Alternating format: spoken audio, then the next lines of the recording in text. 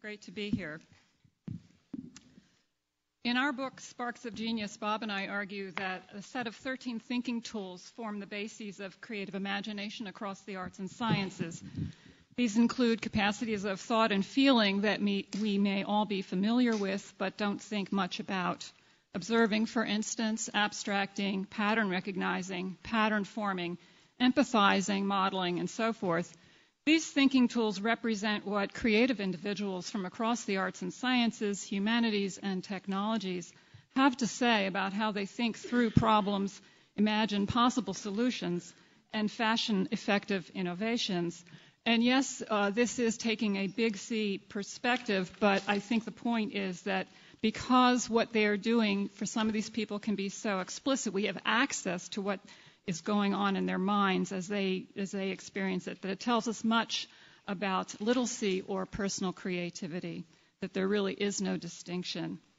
So, what this lived experience of imaginative and creative activity tells us is this the thinking tools are universal, they're germane to a wide array of problem solving activities. The tools are also largely intuitive, that is to say, based in personal experience.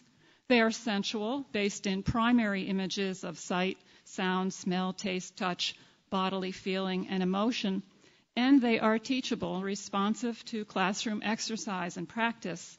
Hone these skills, uh, as many successful individuals would argue, and you hone the muscles of creative imagination and, in a sense, for everyone, maximize um, the creative capital of society. Next slide, please. So bring up creative imagination, and most people immediately think of the arts, and with good reason. Indeed, many of the thinking tools are highly associated with artistic endeavor and artistic training. You can take a look here at tool use among one group of artists in the red bars, a group that reported high use, over 50%, uh, used empathizing, body thinking, playing, abstracting, modeling, and the mental imaging of sight, sound, movement, etc., as thought experiment.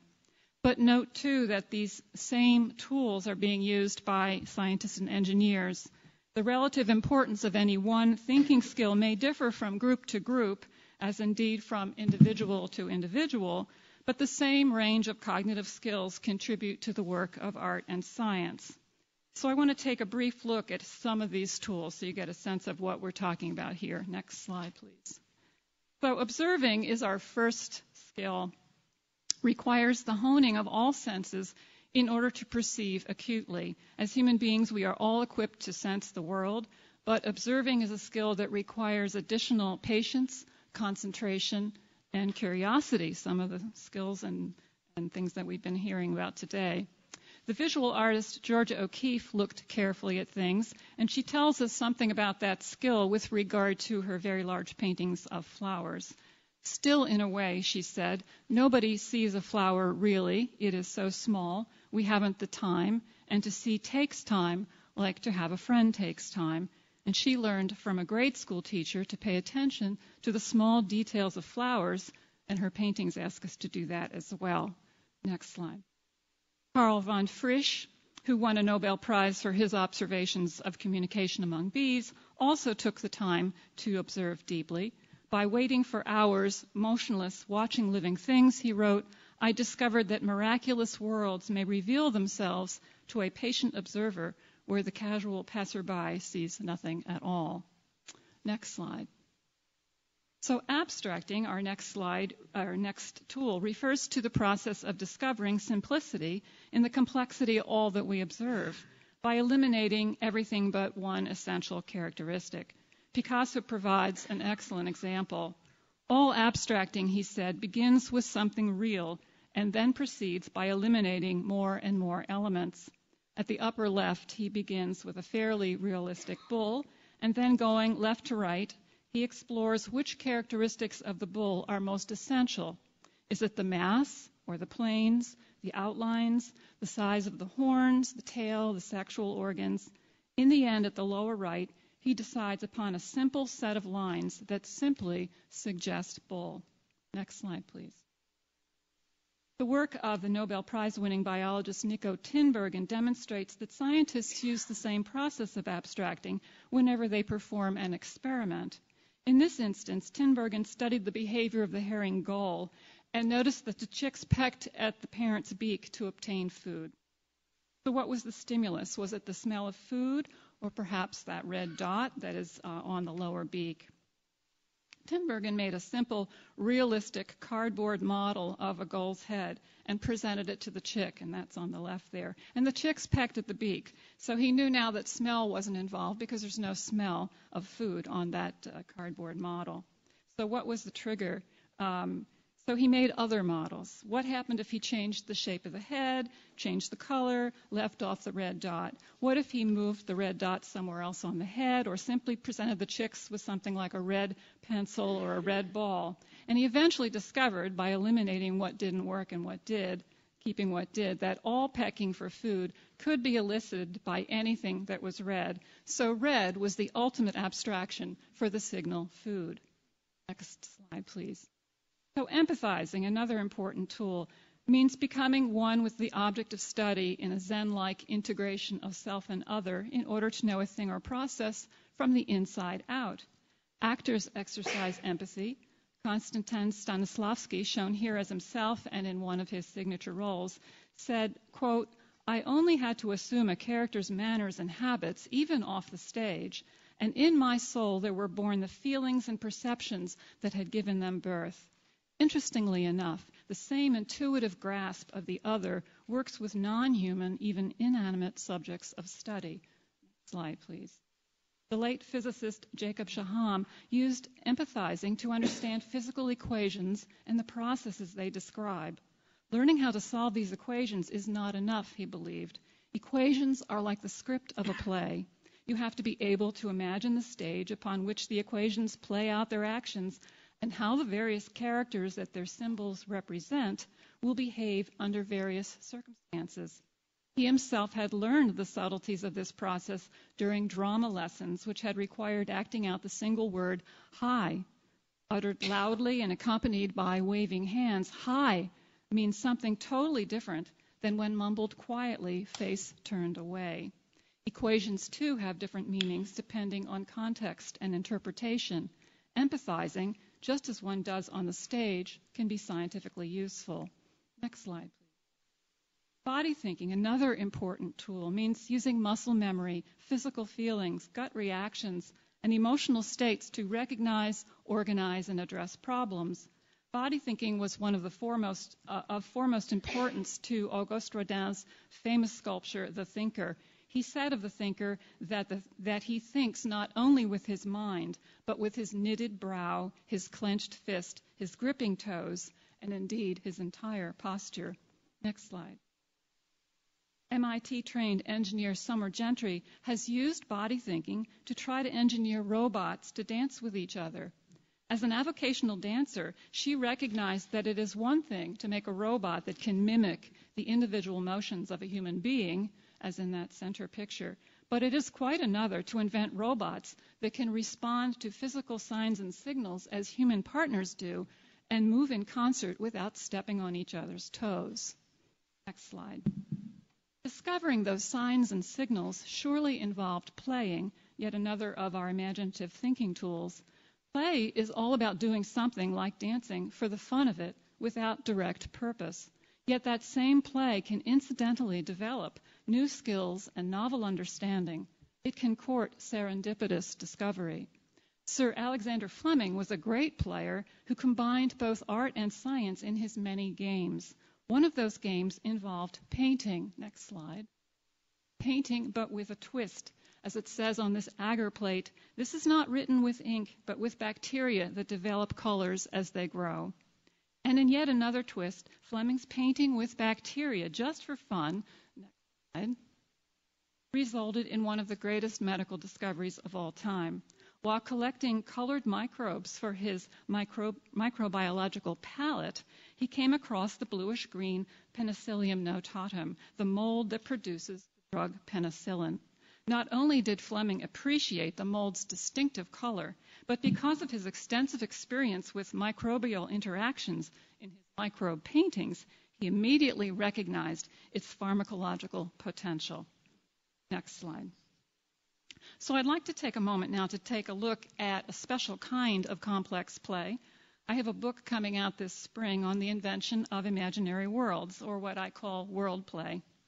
Flourishing in childhood, usually between the ages of 6 and 12, world play is notable for its persistence. The play scenario does not disappear at the end of the day. It's also notable for its elaboration. Aspects of the play scenario evolve towards increasing complexity and with its association with artistic activities such as drawing, storytelling, writing, and other forms of cultural invention. Here we have some of the documents of world play generated by C.S. Lewis as a child, the invention of which he believed prepared him for his career as a writer. Next slide.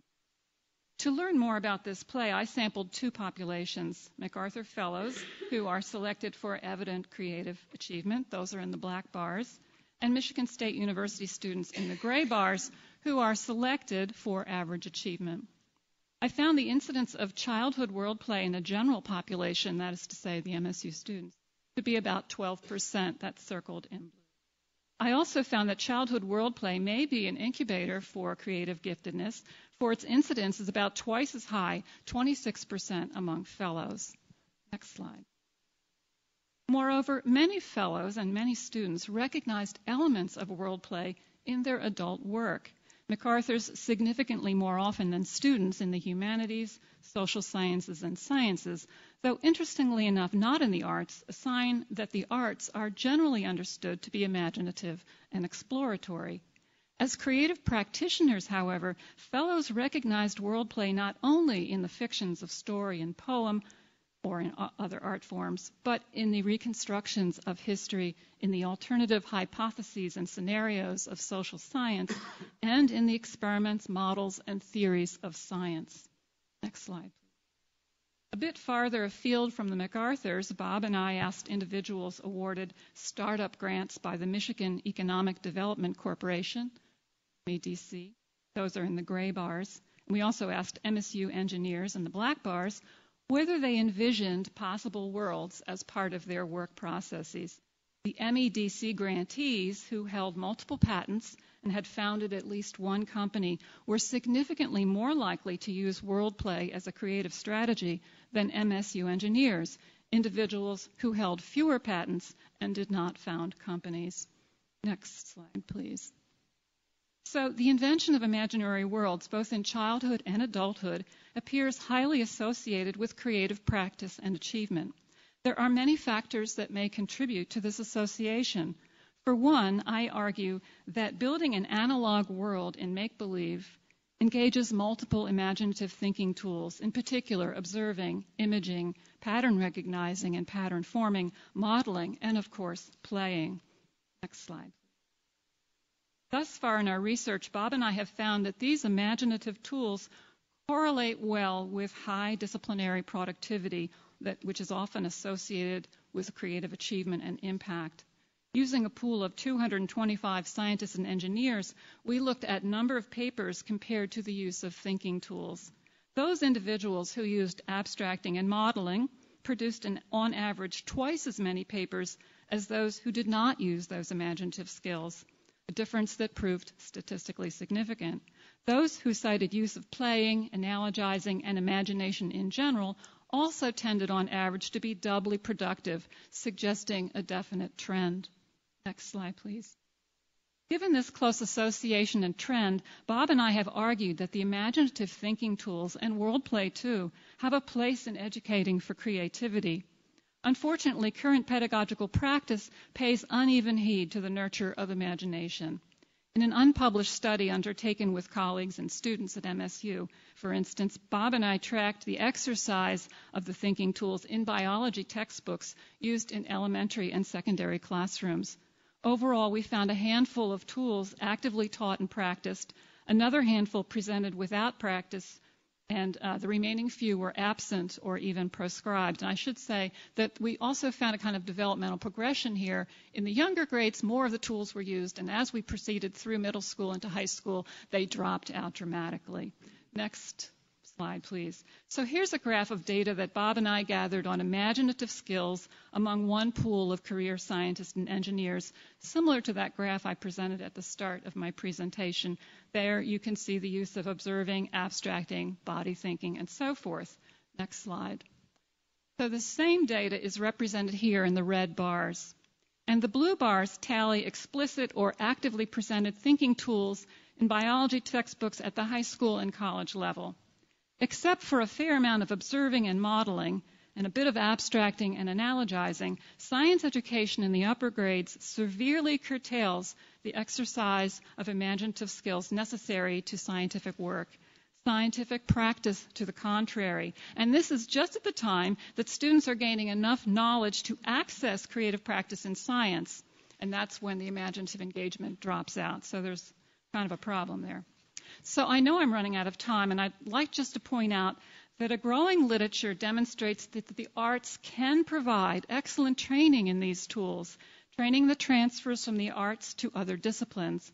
For, in, for instance, uh, visual imaging ability, which you can see from this graph is highly germane to scientific practice, can be pedagogically enhanced in science class by artistic drawing instruction. For this reason, among others, the arts, like mathematics or reading, have a utility central to the core curriculum, which I would argue centers around development or exercise of that language of personal imaginative thinking.